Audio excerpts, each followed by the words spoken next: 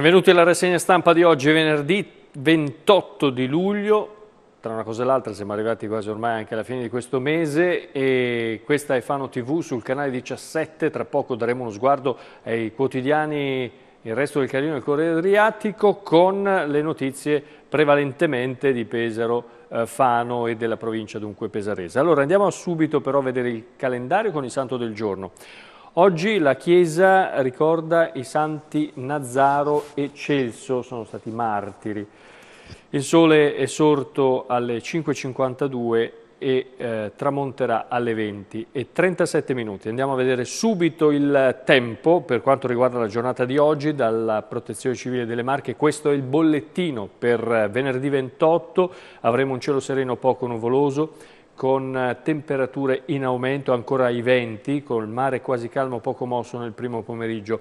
Domani ancora nuvolosità, eh, con cielo sereno poco nuvoloso, eh, possibili brevi rovesci sui sibillini nel pomeriggio e le temperature sono stazionarie o in lieve aumento. Continuerà a soffiare il vento, il mare sarà poco mosso nel primo pomeriggio.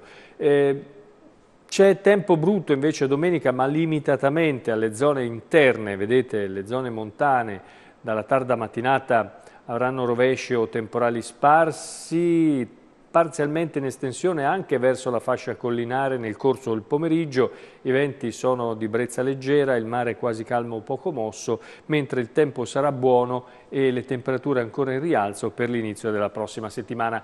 Le ultimissime in diretta dalla spiaggia di Sassoni di Fano dove nostro, un nostro reporter di strada ci ha inviato questa fotografia che ci eh, fa vedere praticamente come questa scultura eh, scultura dedicata alla marineria, eh, vedete, è stata riposizionata dopo un restauro. Per eh, diversi mesi lì eh, c'era soltanto uno scoglio con la dedica, con il messaggio. Oggi, questa mattina, dieci minuti fa è arrivata questa eh, fotografia sulla pagina Facebook di Reporter di Strada, la nostra pagina dedicata a voi segnalatori. Ebbene, che ci mostra che sta, eh, lo stanno riposizionando. Grazie dunque ai nostri reporter, state svolgendo un uh, lavoro straordinario eh, che eh, naturalmente non serve soltanto alla nostra redazione ma alla collettività perché noi siamo qua per informarvi. E allora cominciamo con l'informazione dei giornali e partiamo dal resto del Carlino. Questa è la prima pagina, a centro pagina, la fotonotizia è sulla guerra del microscopio, vaccini e ricerche, è a Pesaro la Ferrari delle nanoparticelle regalata da Grillo. Polemiche e querele. Sopra la cronaca, schianto in scooter all'incrocio grave una ragazza di 22 anni, un grave incidente contro un'auto l'altra notte a Pesaro, l'intersezione della Madonnina di Muraglia è pericolosa ad ogni ora, un, un pesante bilancio, un altro conducente di moto travolto invece nella zona del, del mare. Sotto invece l'imprenditore finito nei guai per la ricostruzione del terremoto lancia chiesta la scarcerazione per lui, spunta la cena con Ceriscioli, dalle intercettazioni un incontro con il governatore. La pagina del Corriere Adriatico invece in apertura è il Palazzo di Vetro di Pesaro che va all'asta, sei piani di storia a 4 milioni, fu cuore pulsante e simbolo della democrazia cristiana. All'interno maxi restyling privato mai terminato. E a centro pagina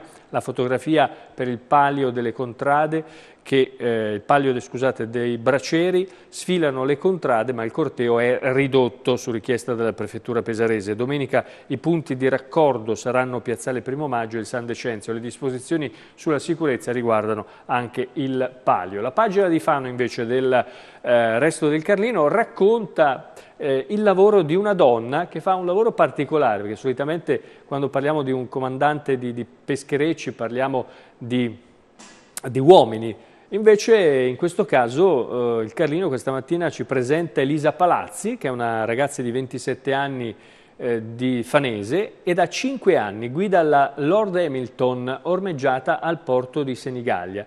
La sua è una famiglia di pescatori, il padre Paolo Palazzi con i due figli eh, che hanno scelto di lavorare in mare qui a fianco una foto di eh, Facebook. Comandante Elisa, questo è il titolo, la Vongolara è sua, unica donna in Italia al timone di quel tipo di scafo. Con lei equipaggio appunto di eh, due persone. È una storia che tra l'altro ha trattato anche la televisione, eh, la RAI nei giorni, nei giorni scorsi proprio presentando Elisa sulla sua vongolare e lei dice avevo 17 anni, ero a pescare con mio padre, ho deciso che quello era il mio futuro.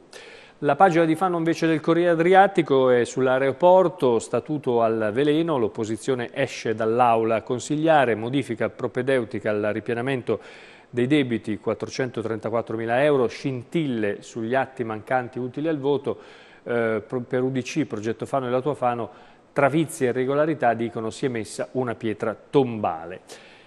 La festa del, dell'Oca a Borgo Cavour, sempre dalla pagina di Fano del Carlino, tradizione e piatti tipici per tornare al bel tempo che fu.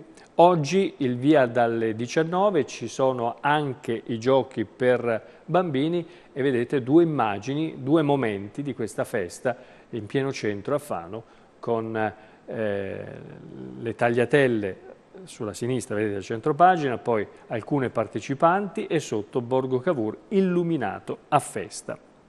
E allora eh, la cronaca da Marotta, attenzione alle truffe, lo diciamo sempre, e qual è la truffa che ci, eh, che ci eh, fa vedere questa mattina, che ci presenta questa mattina il resto del Carlino, la firma di Sandro Franceschetti, ebbene la truffa è quella della gomma sgonfia, come funziona? Voi andate per esempio al supermercato a fare la spesa, quando uscite nel parcheggio trovate la macchina con un, uh, uno pneumatico praticamente completamente a terra. Ora, poiché in quelle condizioni non potete certamente partire, cosa fate? Vi mettete al lavoro per sostituire la ruota, ma mentre armeggiate con chiavi, cricche, eccetera, eccetera, attenzione perché c'è qualcuno lì pronto a rubarvi, per esempio, il borsello con dentro il portafogli che voi avete appoggiato sul sedile. Siccome fa anche caldo, diventa ancora più facile perché probabilmente ci sono i finestrini abbassati, eccetera, eccetera.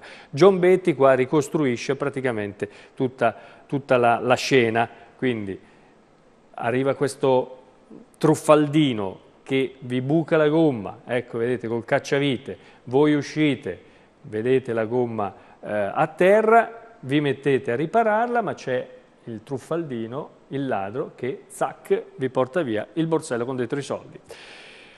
L'ambito territoriale il, occupa la pagina 13 del Carlino, il nuovo ambito va spedito, è stato presentato il bilancio delle attività dei primi sei mesi da gennaio a giugno di questa nuova gestione, tra le novità la disponibilità di 1.350.000 euro eh, di risorse europee che serviranno per esempio per incrementare il personale, quattro assistenti sociali in più e due tutor per seguire gli inserimenti lavorativi.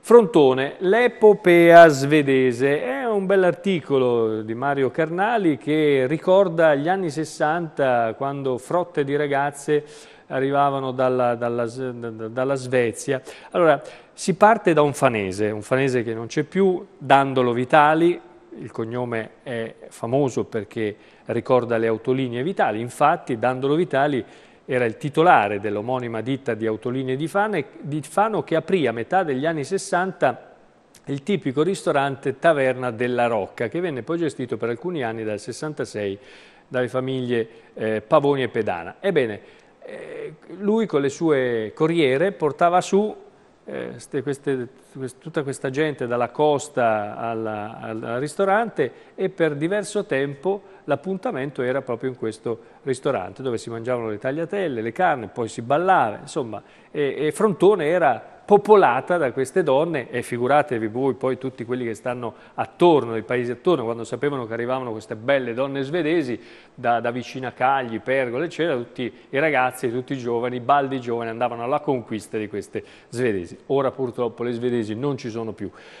Uh, Chiara Billi, eh, siamo a Fossombrone invece, sempre sulla stessa pagina, parliamo di commercio, all'attacco negozi in ritirata e giunta inerme e qui si fa il saldo tra aperture e chiusure dei negozi di Corso Garibaldi a Fossombrone. Al 31 dicembre del 2016 era a meno 1, insomma flessione quasi impercettibile. A Urbino, dalla pagina del Carlino, Sgarbi, attenta Crespini, Crespini, non puoi fare di testa tua. La, il caso della festa del Duca avrebbe bypassato il comune, l'assessore critica l'indifferenza per le mostre. E poi da, sempre dal, da Urbino invece il Corriere, festa dell'unità, festa dell'unità alla data, il PD lancia la sfida Sgarbi, da oggi fino a domenica 30 una serie di dibattiti e iniziative a Borgo Mercatale. Andiamo sull'altra pagina, torniamo sulla pagina di Fano, siamo sul Corriere, Paese dei Balocchi 2017, ecco chi è il nuovo sindaco della manifestazione, Silvestro Montanaro, che è un reporter e scrittore impegnato e aiuterà a raccontare il sogno. Dalla Valle del Cesano la viabilità è sconnessa, è dissestata e dunque bisogna intervenire. L'osservatorio cittadino incalza la provincia per sistemare le strade di terre roveresche. Eh, dalla, sempre dalla Valle del Cesano, danni eh, nel nuovo giardino di Pergola siamo stati noi disponibili a pagare, un gruppo di ragazzi domenica notte hanno fatto questo danno, tre giorni dopo, mercoledì mattina, hanno ammesso le loro responsabilità. Alcuni ventenni si sono presentati l'altro giorno all'ufficio di Polizia Municipale di Pergola ammettendo di essere stati gli autori di questi danni causati ai giardini storici recentemente ristrutturati e riqualificati dalla giunta Baldelli.